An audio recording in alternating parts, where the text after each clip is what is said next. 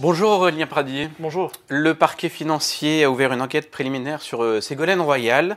La question c'est a-t-elle utilisé les moyens dont elle disposait comme ambassadrice d'épaule à des fins personnelles En l'occurrence, est-ce que ses collaborateurs ont travaillé à la promotion d'un de ses livres?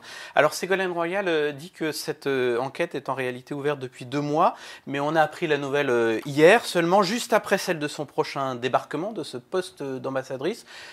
Est-ce qu'il est possible que la justice soit instrumentalisée? L'enquête dira ce qu'il en est, je n'ai pas à le, préjuger.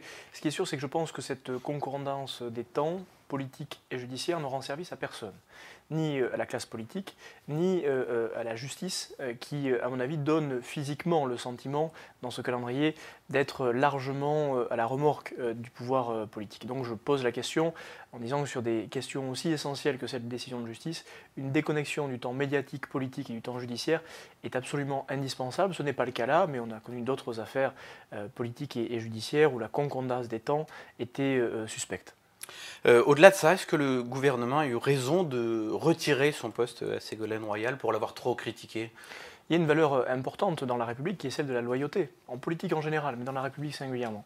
Je ne suis pas sûr que Ségolène Royal ait été euh, parfaitement loyale. Au-delà, je ne suis pas sûr qu'elle manque terriblement aux pôles et aux dirigeants des pôles qui ne se sont pas émus du fait qu'elle soit débarquée. La réalité, c'est, ou la question véritable, c'est la réalité de son travail effectif. Pour le reste, c'est euh, la révélation de deux tempéraments, celui d'Emmanuel Macron qui n'aime pas être critiqué et celui de Ségolène Royal qui adore faire la victime. Dans cette situation-là, on révèle bien les tempéraments euh, de l'un et de l'autre. Elle aurait dû s'astreindre à un devoir de réserve, même pour une fonction qui est bénévole Oui, mais on ne peut pas l'empêcher de parler. Et lorsqu'Emmanuel Macron deal avec Ségolène Royal pour lui proposer ce poste, j'imagine bien qu'il ne le fait pas avec l'intention de la faire taire, ou en tous les cas, il est extrêmement naïf. Mais c'est ça l'erreur euh, de départ, c'est simplement de la nommer à ce poste, elle n'était pas faite pour L'erreur de départ, c'est sûrement d'avoir voulu faire un coup politique pour Emmanuel Macron. Euh, ce coup politique se retourne contre lui euh, aujourd'hui. Euh, j'allais dire, dans, cette histoire-là, les deux, et Ségolène Royal et Emmanuel Macron, ont tenté de profiter de la situation, et aujourd'hui, à mon avis, personne n'en profite. Le président Macron a pris la parole à deux reprises en deux jours au sujet des, violences ou des bavures policières pendant les opérations de, maintien de l'ordre. En gros, il dit chacun doit respecter la police, pas question de dire que globalement elle se conduit mal. Mais il reconnaît aussi euh, que certains policiers ont pu avoir des comportements qui ne respectent pas la, déontologie. Ça, c'est plutôt nouveau de la part de l'exécutif. Vous pourriez endosser ce discours? Cette situation est devenue absolument intenable. Elle est intenable pour les forces de l'ordre qui, depuis plusieurs mois, comme jamais, depuis des décennies dans notre pays, sont surmobilisés sur des questions de maintien de l'ordre. La situation sociale de notre pays, à laquelle Emmanuel Macron n'est pas totalement étranger, est une situation qui est intenable pour les forces de l'ordre.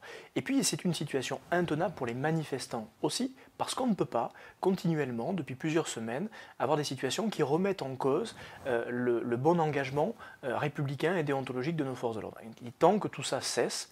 Moi, je ne choisis pas de camp. Je refuse de le faire. Il faut dire les deux aspects de la situation. On a parfois eu, notamment à droite, des pudeurs euh, sur les images qu'on a pu voir, euh, par exemple ce policier qui fait un croche-pied à une manifestante, euh, vous, vous reconnaissez que ce ne sont pas des images acceptables? Je n'ai aucune pudeur, ni d'un côté ni de l'autre. Et je refuse de choisir un camp. Le seul camp que je choisis, c'est celui de la République. La République, c'est celle qui permet à des manifestants de manifester, et c'est celle qui permet à des forces de l'ordre d'exercer leur travail sans être la cible de délinquants et de violences continues. Mais je n'ai pas à choisir de camp, parce que mon seul camp, c'est celui de la République autant des forces de l'ordre que des manifestants. Le gouvernement, il a tardé à reconnaître hein, qu'il pouvait y avoir des problèmes de la part de certains policiers. Euh, on a beaucoup dit que, notamment Christophe Castaner, craignait que la police le lâche pendant euh, les manifestations des Gilets jaunes. Nous avons un petit sujet avec la situation de Christophe Castaner, pardon, sans vouloir faire de polémique, mais je ne suis pas sûr que Christophe Castaner soit parfaitement à la hauteur de la situation euh, depuis le début de l'exercice de sa mission ministérielle. On a quand même une succession d'événements avec Christophe Castaner qui ont entamé sa, crédibilité dans ce poste absolument stratégique. Et, donc oui, depuis le début, je le redis, on a un niveau de tension tel que de toute façon, on devait en arriver à cette situation-là.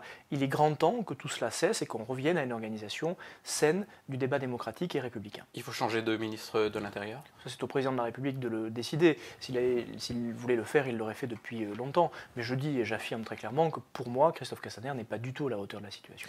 On va passer à l'économie. La rémunération du livret A va tomber à 0,5% en février. Alors, mauvais coup pour les épargnants d'un côté, mais bonne nouvelle pour le financement du logement social.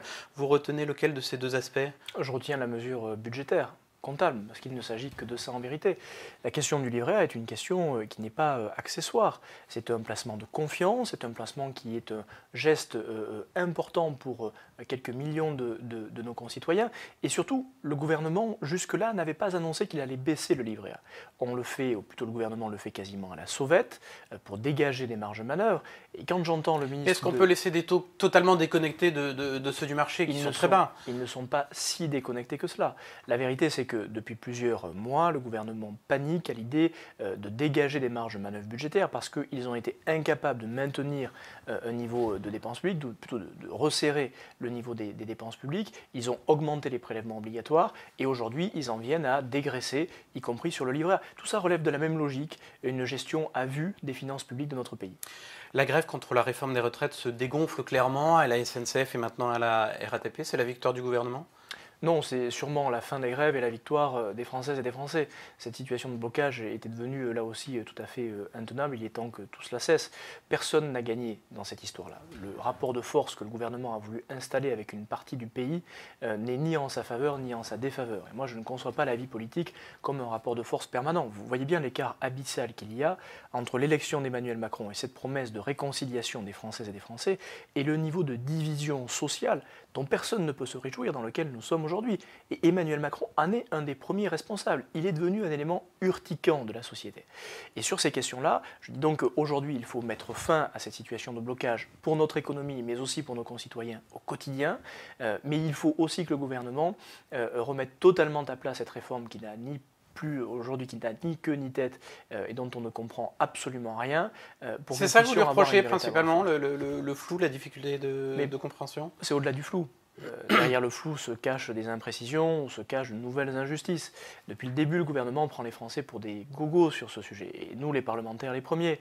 Rendez-vous compte, nous allons dans quelques semaines débattre de la réforme des retraites sans aucun financement. On va demander au Parlement de signer un chèque en blanc, comme ça ne s'est jamais fait sous la Ve République, euh, à l'égard euh, du, président de la République et, du gouvernement. Tout ça est d'un niveau d'irresponsabilité invraisemblable. Malgré cela, est-ce que vous pourrez voter contre ce texte qui, par exemple, supprime les régimes spéciaux? On sait que c'est une idée extrêmement extrêmement populaire euh, parmi vos électeurs Tous les sujets sur lesquels nous sommes d'accord, nous les soutiendrons.